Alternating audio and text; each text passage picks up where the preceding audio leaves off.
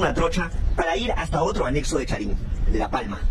Ahí llegamos después de 25 minutos para recoger más información del dato que habíamos conseguido. Nunca nos imaginamos que en ese pequeño y hermoso pueblo nos secuestrarían. Al llegar, una vez más, Elmer se dedica a grabar tomas del lugar, mientras yo me acercaba a la losa deportiva de la zona para buscar más información, porque fue ahí donde se realizó la segunda reunión con la cuñada del presidente. Con mi celular logré entrevistar a este hombre que me confirmó el dato.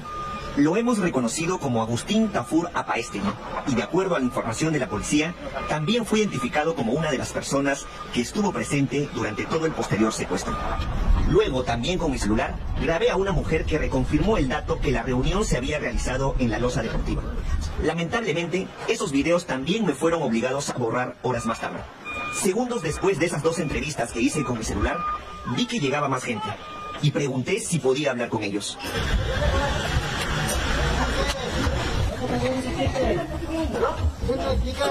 ¿De qué se trata? Claro, queremos saber de qué se trata. Mientras me acercaba, ellos tenían al frente a Elmer Valdivieso con cámara en mano y no reclamaron nada. Al llegar me identifiqué y les expliqué claramente qué información fui a corroborar. Fue ahí que las cosas empezaron a cambiar. Buenas tardes.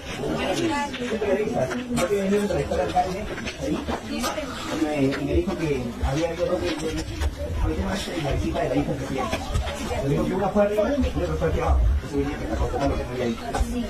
No. Sí, primero, ¿qué? Señor, buenas tardes.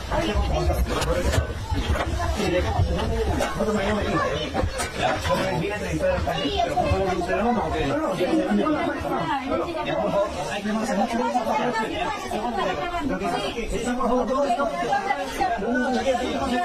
No, claro, usted tiene todo derecho. Sí, tiene todo derecho, está bien. Que que venga, que un representante para que hable. No, no, no estamos grabando. No estamos grabando. ¿Ah? Vamos a ya está bien, tranquilo. Ya está bien. Está bien. Si no quiere hablar. El hombre que salió de la tienda fue el primer asusado. Su nombre es Víctor Díaz Cueva. Policía también lo ha identificado. No tiene ningún cargo público, pero es muy allegado al alcalde de Charín como demuestran estas imágenes, donde asiste a las ceremonias de inauguración de las pocas obras que la autoridad ha realizado en la zona. Él fue el primero en pedir bloquear la carretera y llamar a otros ronderos. Era evidente su rechazo al reportaje que emitimos la semana pasada. Pidió guardar la cámara, pero Elmer siguió grabando. Esos últimos segundos de grabación dejan muy en claro sus verdaderas razones.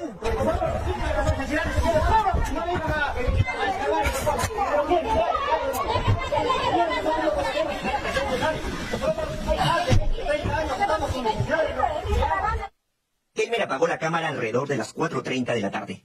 De ahí en adelante fueron cinco horas de un pánico que tuvimos que contener para salvar nuestras vidas.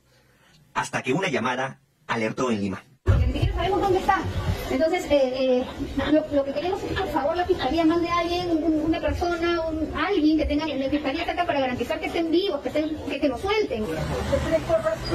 Luego de más de una hora de tensión y miedo, finalmente los ronderos exigieron que se lea una declaración en televisión nacional. Nos obligaron a mentir y a decir que nuestra denuncia contra la cuñada del presidente era falsa. A cambio de ello, nos dejarían en libertad. El canal accedió por una sola razón, salvaguardar nuestras vidas.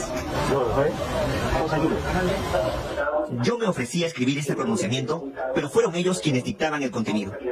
Lo hice para bajar la tensión entre la impaciencia de los ronderos y las coordinaciones en el canal.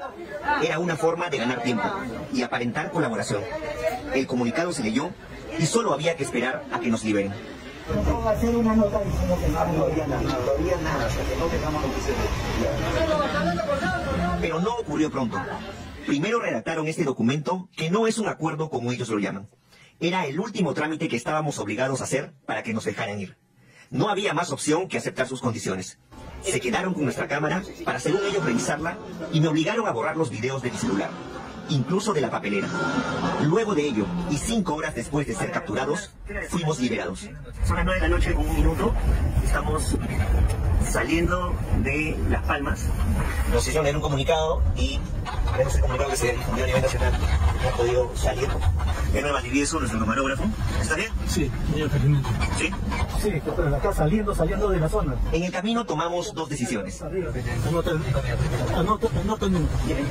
Llamar a nuestras familias y salir del lugar cuanto antes. Por parte de la Fiscalía, ¿quiere algún nombre de un reportero para que informe a la Fiscalía de la Nación? Nos encontramos con un grupo de policías en el camino que nos escoltaron hasta Bambamarca, donde un fiscal nos recibió y nos preguntó si haríamos alguna denuncia, pero le informamos que nuestra prioridad era llegar a Cajamarca, a donde llegamos alrededor de las 3 de la mañana y donde la Defensoría del Pueblo nos esperaba. Hola, ¿cómo está? Mucho gusto. Hola, ¿cómo. Ahí nos despedimos de nuestro conductor Robert Cabrera, chotano y que supo resistir las horas difíciles. Al día siguiente partimos en el primer vuelo a Lima. Mientras abordábamos, recordé un incidente. Nuestro camarógrafo Elmer Valdivieso mide 1,87 m, pesa 110 kilos y podría lastimar a cualquiera si así lo deseara. Sin embargo, tiene un corazón tan grande como su cabeza. En el momento que nos liberaron, se quebró.